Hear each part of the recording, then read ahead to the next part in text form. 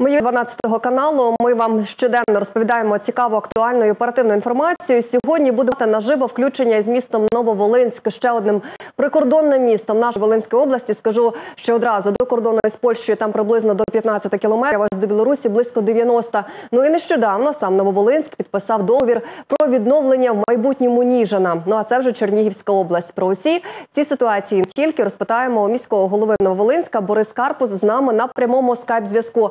Пане Борисе, слава Україні! Героям слава, пані Рині. Ви знаєте, я одразу розпочну із Ніжина. Я знаю, що ви повернулися звідти з делегацією. Чому поїхали туди? І що означатиме підписання ось такого меморандуму про спів? Як вас там зустріли? Поділіться. Е, доброго дня всім е, е, мешканцям нашої Волинської області. Ну, ідея насправді виникла дуже давно, тому що ми з Олександром Михайловичем Кодолою знайомі, знайомі по депутатській роботі Ігоря Володимировича Гузя, перетиналися ще в попередній каденції його, коли він був депутатом Верховної Ради. І коли він став міським головою після виборів, так само як і я, ми домовлялися про зустріч. Просто не було якось нагоди. То коронавірус, то е, свята, то новорічні свята, і так все не було нагоди. Ось е, тепер, е, після е, нападу Росії, вони місто Ніжин стало таким теж е, форпостом, е, прийняли бій, е, і біля них там за 5 кілометрів був фронт. Насправді, тобто, ми прийняли рішення підтримати колегу, поїхати туди, подивитися власне ну, на свої очі, відчути, яка там ситуація. Тому ну, тому з цього приводу ми туди їздили, завезли їм передачу. Це були ліки е, завдяки Володимир Володимирській громаді і лікарні їхні так само. Тобто е, був здійснений цей візит. Е, скажіть, пане Борисе, наскільки зруйнована інфраструктура? Ось ви їхали і дорогою, і бачили ситуацію, як то кажуть, на власні очі. Ну е, зі слів міського голови, е, в них було кілька артобстрілів. Постраждали е, один садочок, школа, ФАП амбулаторія, е, близько 15 багатоквартирних будинків і 30 е, приватних осель. Це власне в самому Ніжині проблеми з постачанням електрики, е, вся інша критична інфраструктура в принципі працює. Дорогою туди ми бачили мінометні обстріли, попадання в дорожнє полотно, траси, ну і різні сліди від від міни, снарядів е, на полях від доріг. Е, я знаю, що зрештою домовлялися в майбутньому про співпрацю. І сьогодні ви знаєте, мені приємно, коли європейські міста десь в майбутньому, мабуть, візьмуть шефство над відновленням наших міст. А от як ви бачите співпрацю щодо відновлення, сприяння, можливо, розвитку території? Я потім буду говорити, можливо, якісь підприємства до вас переїдуть. Як ви бачите, ось цей взаємозв'язок, ось таких сходу із ну це навіть не заходу, фактично, це такого нашої півночі, фактично там, де Ніжин є. Е, ну в нашому випадку це звичайно на короткострокову перспективу. Це допомога гуманітарна. Е, ми отримали е, запити. Ми розуміємо, які їхні потреби чіткі, зрозумілі для того, щоб ну, на на, на найкоротший термін допомогти їм. Це ліки, це е, генератори, електрогенератори, це е, автомобілі. Тобто, і ми далі по цій схемі будемо працювати щодо відновлення. Звичайно, це е, ну, величезні кошти, і для цього нам необхідні ресурси зовнішні наших міжнародних партнерів. Я переконаний, що в рамках е, кандидатства України в члени Євросоюзу. Ми будемо отримувати е, інфраструктурні кошти для відновлення території. І з цих коштів можна буде говорити, думати, як відновлювати наші міста. Пане Борисе, ви сказали, що допомагаєте сьогодні гуманітарною допомогою. Хто долучився з міжнародних знову ж таки партнерів е, до вас, до Нововолинської міської ради? Хто привозить гуманітарні вантажі? тому що ви близькі до кордону. От як там ситуація виглядає? Тому що мусите ділитися тим, що приходить і до вас. Е, Дивіться, е, значить, в нас з перших днів е, війни ми створили ініціативу Нововолинськ Хелп. Е, Допомагаємо будь-кому, хто має таку потребу е, в перевезенні і доста- достав вантажів по території України. Тобто, в нас е, є модель відпрацьована. Якщо є мешканці ну вірніше, будь-яка ініціатива з-за кордону, яка хоче потрапити в Україну і далі передати далі будь-кому, чи це буде лікарня, чи це буде а, місто, чи це буде якась установа, чи це дитячі садки. А, ми в свою чергу допомагаємо в цих процесах з бюрократією, зі всім, зі всім, зі всім. А, в нас дуже багато насправді є різних абсолютно прикладів. Це може бути приватна ініціатива, де родина або якісь знайомі, або підприємці, або українці, діаспора, яка зібрала там якийсь бус і хоче передати його сюди, його кудись там далі. І, і, і є, наприклад, ініціативні люди, вони беруть і переїжджають. Ми допомагаємо з документами і везуть далі. Це можуть бути міста партнери, це можуть бути установи організації, це можуть бути благодійні фонди, це може бути будь-хто е, звертається там безпосередньо до мене чи в Новолинськ Хелп діє міжнародна. е, Лінія, гаряча лінія 0800, е, телефонуєте і далі наші колеги, волонтери допомагають. Там працюють насправді як переселенці, так і наші мешканці Новолинської територіальної громади, і вони ці всі процеси організовують. Ну насправді ну дуже багато різних абсолютно ініціатив е, є публічні, які ну відносяться до таких традиційних речей, да там гуманітарна допомога, гігієнка, їжа, е, одяг якийсь. Є специфіка, це е, амуніція, там по- пов'язана з військовою, дуже дуже е, важко, тому що її майже немає. Е, є ще більш специфіка, це, наприклад, е, е, там генератори по 80 кВт, які коштують там ну, величезні кошти за мільйони гривень, які теж нам вдається до, якби доправляти через залізницю. Ну, Інші речі там дороговартісні, наприклад, на лікарні, на нашу місцеву лікарню.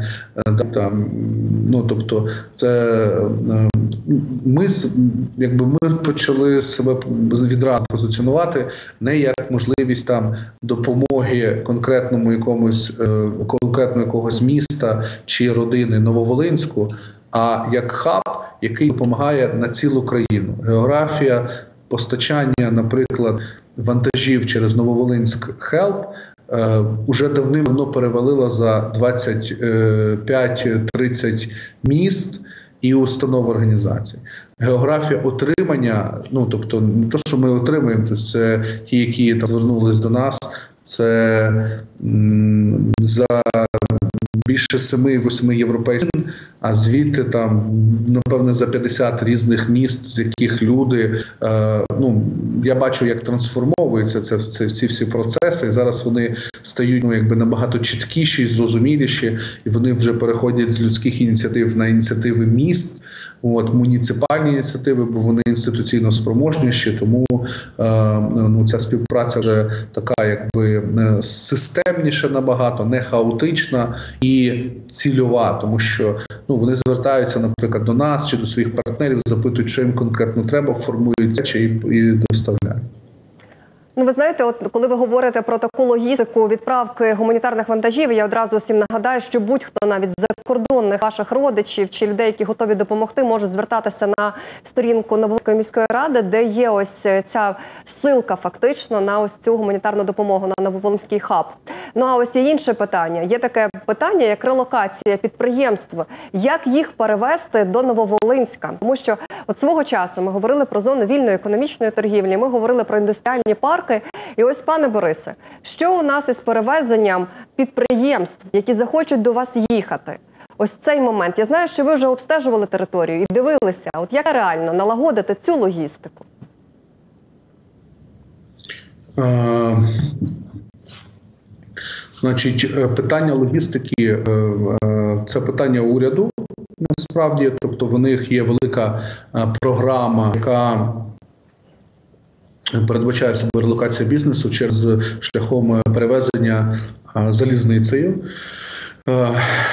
Сім сім областей включені в цю програму, окрім Волинської області, Рівненської області, Житомирської, які ну знаходяться на на, на, на прикордонних територіях з Білорусі.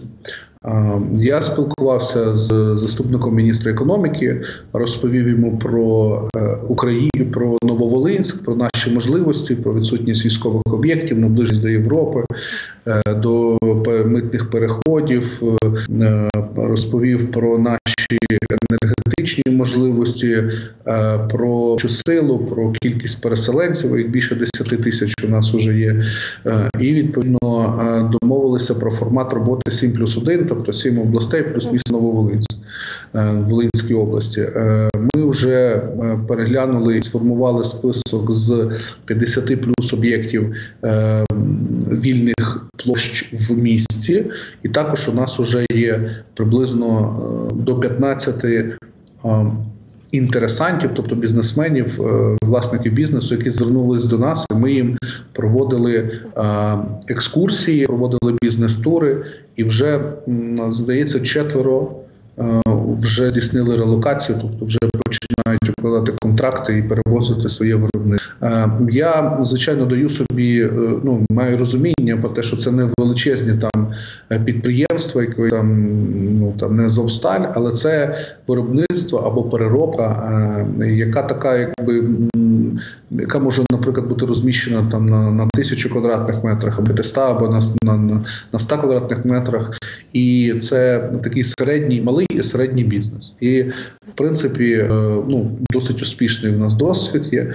Уже е, зараз ми опрацьовуємо далі. Тобто, ну я я впевнений, що будуть складніші речі, там де, наприклад, е, будуть. Підприємства, де там ну необхідно буде окрім працевлаштування людей, що вони будуть з собою їх привозити, і питання, наприклад, е, житла. Е, наприклад, підприємство, яке має там 500 найманих працівників, і їх не треба 100 людей поселити. Це велика е, великий виклик для нас. Ми теж займаємося окремо створення реєстри вільного житла або оборотного житла. Ми ведемо дискусію з забудовниками, щоб вони могли там швидше добудувати. І окремо опрацьовується питання, наприклад, модульного або будь-якого іншого будівництва за донорські кошти. Е, це це все такі паралельні процеси, які відбуваються е, е, уже там запущені, і відповідно ми розуміємо, що зараз є шанс допомогти. Наші вимоги, наприклад, у нас теж є вимоги до бізнесу. Це перш за все експортоорієнтовані, тобто що вони брали свою продукцію за кордон, не залежали від внутрішнього ринку.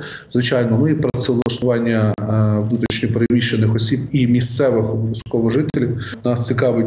ПДФО по внутрішньопереміщених зрозуміло, держава відшкодовує 6500, для е, ВПО е, бізнесменам, які беруть або бізнесу, які беруть на працівників.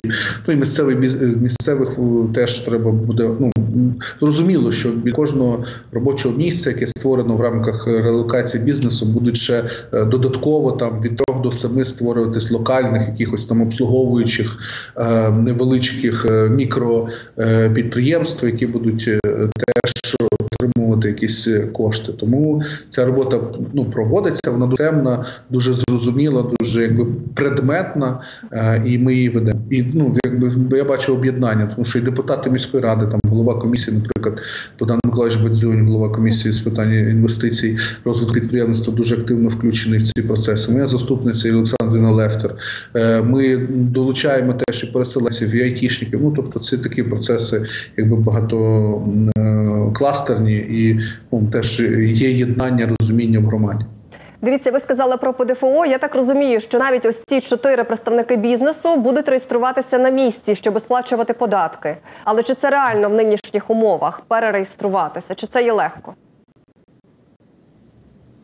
Взагалі немає ніяких проблем. Тобто, є там ми ще в минулому році опрацювали моделі, по яких перереєстрація здійснюється там за допомогою подання одного документу звітності в податкову, та й все і просто ну і з наступного місяця вже суб'єкт господарювання сплачує ПДФО по місцю здійснення діяльності. Тобто, це не складний, не важкий. Абсолютно там процес, який там займе 20 хвилин. Дивіться, можу запитати. Знаєте, все ж таки вугільний регіон Нововолинськ. Ми всі знаємо. Нині шахти не працюючі. І пригадуєте, майже на 20 років вперед мала бути запущена програма, яка би намагалася перетворити колишні вугільні шахти, зважаючи, що це є повністю об'єкти готові до якоїсь трансформації на зовсім інші об'єкти інфраструктури і бізнесу. І навіть гроші були закладені понад 100 мільйонів гривень, які мала отримати частково і Литовежська громада, і ще одна поруч Нововолинськ. Волинська.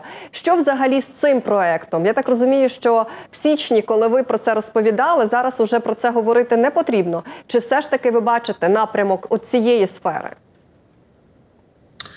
А, Значить, щодо вугільної трансформації, е, ну, там е, трансформації вугільних регіонів, ситуація наступна.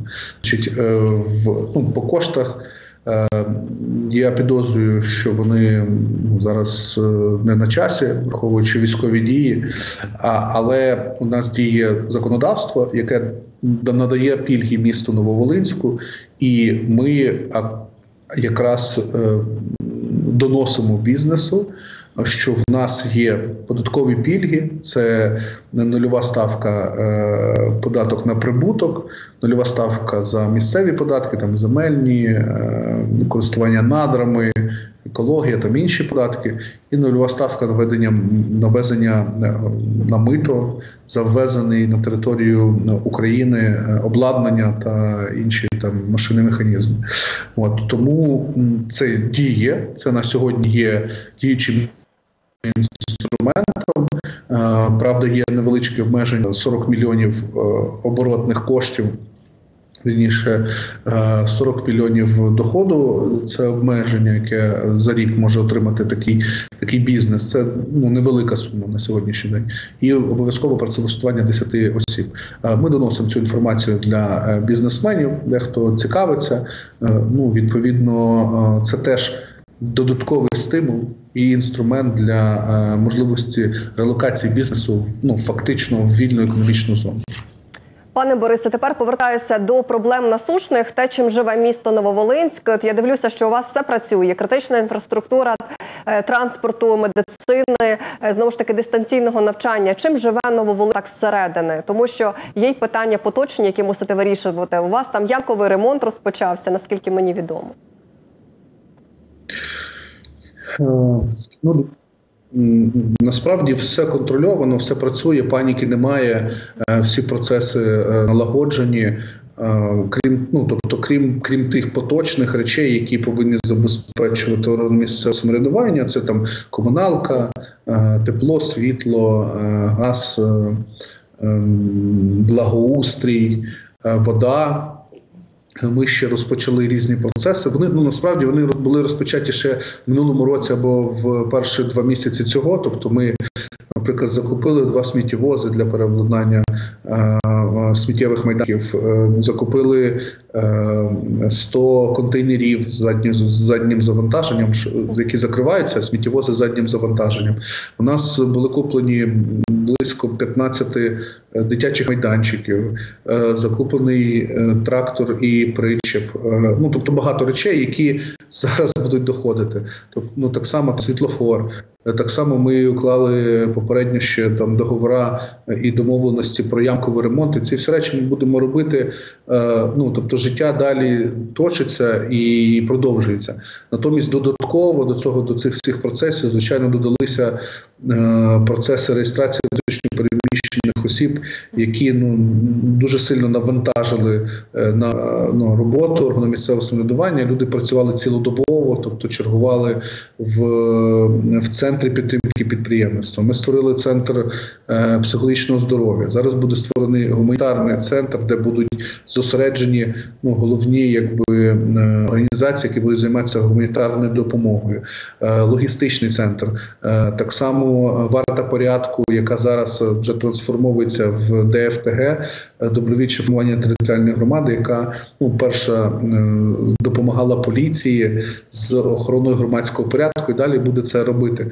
То ці всі речі це додаткові до виконання цих повноважень е, органу місцевого самоврядування. І найголовніший виклик, з яким ми зараз стикаємося, це звичайно реєстрація внутрішньопереміщених осіб, яких у нас близько 10 тисяч.